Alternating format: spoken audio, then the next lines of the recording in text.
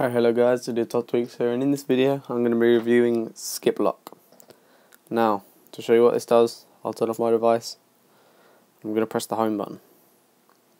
It completely skips the lock screen as you can see. Same with just pressing the on device. device. So it's really good. Um, if you don't have a password, I'm pretty sure if you set a password, so let's just go and set one now. Passcode lock on. Just make it UIOP.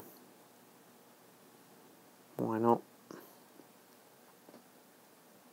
So yeah, as you can see, it won't skip the password. So if you don't have a password, it's a really good, really good um, tweak to have. But um, if you have a notification, it will actually not just skip straight through. So when you turn it back on, it will um, it won't skip straight to the springboard. Uh, what is it? Yeah, it won't skip straight to, springboard. It will show the notification on the lock screen.